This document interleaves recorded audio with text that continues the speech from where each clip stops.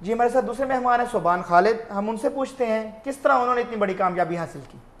ہیں۔ سب سے پہلے تو میں اللہ تعالیٰ کا شکر گزار ہوں، جس کی خاص رحمت اور کرم سے میں آج اس مقام پر پہنچا ہوں۔ دراصل کوئی بھی طالب علم یہ نہیں کہہ سکتا کہ میں نے اپنی محنت سے یہ کامیابی حاصل کی ہے۔ اس کے پیچھے اس کے والدین اور اس کے اساتذہ کی بھی دعائیں اور محنت ہوتی ہے، جو اس کو معاشرے میں آگے بڑھنے کے لیے رہنمائی کرتی ہے اور اس سے ایک راہ دکھاتی ہے جس کی وجہ سے وہ باقی دوسرے طالب علم سے آگے نکلنے کے لیے پرعزم ہو جاتا ہے۔ ہم آپ سے یہ بھی پوچھنا چاہیں گے کہ ٹیچرز استاذہ اس کے علاوہ کون سی ایسی چیز تھی جس نے آپ کو انکریج کیا کہ آپ آپ اس سوچیں کہ میں اتنی ٹاپ پوزیشن حاصل کروں گا؟ دراصل ہماری فیملی کے جتنے بھی ممبرز ہیں وہ سارے ایجوکیٹیڈ ہیں۔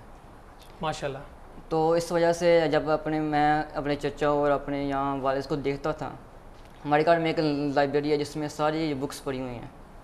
تو ان سے اپنے یعنی اپنے والدین چچا اور ان کتابوں کو جو دیکھ جو انسپریشن پیدا ہوتی ہے اس نے مجھے یہ عزم اور حوصلہ دیا کہ میں باقی اسٹوڈنٹ سے آگے نکلوں۔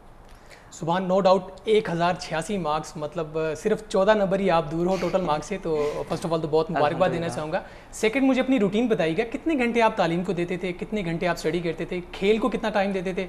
امی اب اگر بازار بیچتے تھے تو وہ بھی کام آپ کرتے تھے سوشل کام جو ہوتے ہیں آپ کے گھریلو کام کاج میں بھی آپ نے حصہ لیا ہوگا۔ تو یہ ساری ساری روٹین آپ نے کیسے ڈیوائڈ کی؟ پورا دن کیسے ہوتا تھا آپ کا گزرتا؟ دراصل میرے چھوٹے بھائی بھی ہیں نا۔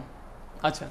چھ گھنٹے تو اسکول کا جو ٹائم ہوتا ہے جو ہر اسٹوڈنٹ نے گزارنا وہ اپنے اسکول میں اسپینڈ جی وہ اسکول میں ہے۔ دین اس کے علاوہ گھر میں جو ہے وہ فور سے فائیو آورس اور جو باقی گھر کا کام تھا وہ کچھ میں کرتا تھا کوئی جو چھوٹے بھائی ہیں وہ بھی آپ کوئی اسپیشل ٹیوشن وغیرہ بھی لیتے تھے کہ بس میرے جو وہ اسکول میں ٹیچر ہیں سائنس ٹیچر ہیں۔ جی جی۔